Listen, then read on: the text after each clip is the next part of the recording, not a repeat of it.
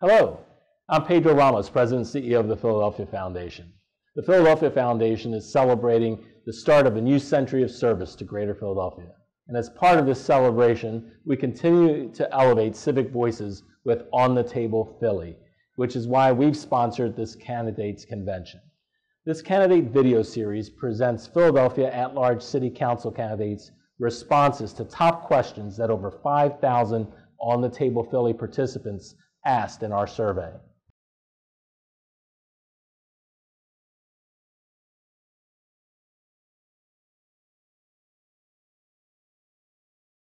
I've spent the last 20 years doing social justice work.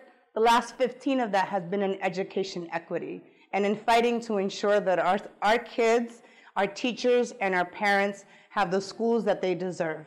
I think that we are in a crisis in Philadelphia. We have rapidly moved into mass charterization.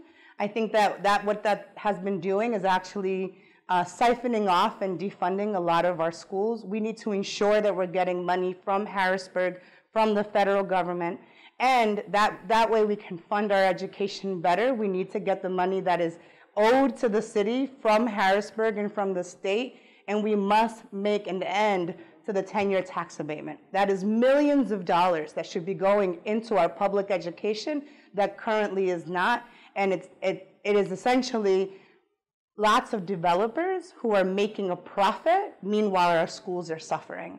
I think we need to invest in schools that have enough teachers in them. We need to make sure that we have nurses, we have counselors, that we have ESL teachers, and that we are prioritizing the students who need us the most in order to ensure that our schools and our, and our, and our young people have a future and that, that their education is solid.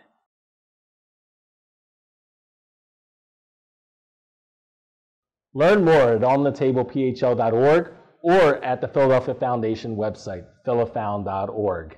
And look out for our next On the Table Philly on October 17th, 2019.